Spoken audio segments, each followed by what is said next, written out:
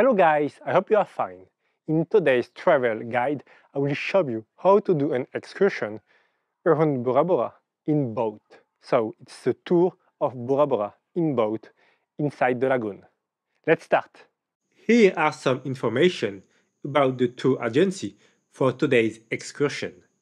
Contact them directly by phone or by mail if you want to take their tour. The price of the tour is around $130. I leave the email in the description. If you stay in a hotel, just ask your reception. Lagoonarium Tour. Remember it's a travel guide, so I won't show too much details.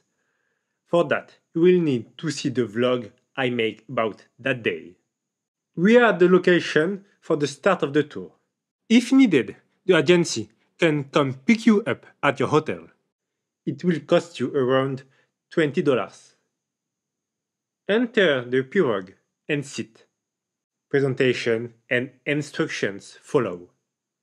You will do the tour of Bora Bora with informative commentary from your guide and multiple stops. Of course, you will enjoy all of that with local music. Here are the activities you will do during the tour. During the first stop, you will do some snorkeling, enjoying the beauty of the coral garden, the fishes, and the famous writing I love Bora Bora under the sea. Next will be the search of the eagle and manta rays.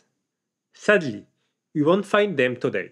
I hope you will have better luck.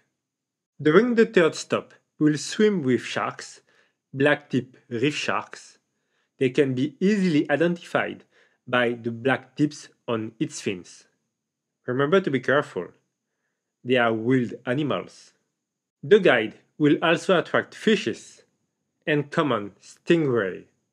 Last stop, the Motu. It's a small island, and that one is exclusively reserved for the tour will eat a traditional lunch on a private motu.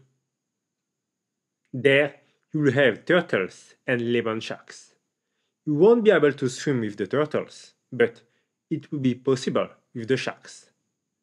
They are in semi-captivity, but still lemon sharks.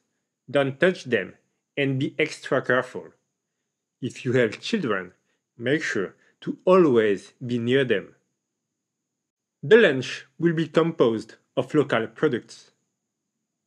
To finish, you will be proposed a tour of the motu and some activities, like how to tie a pareo, grate a coconut, dance, and more.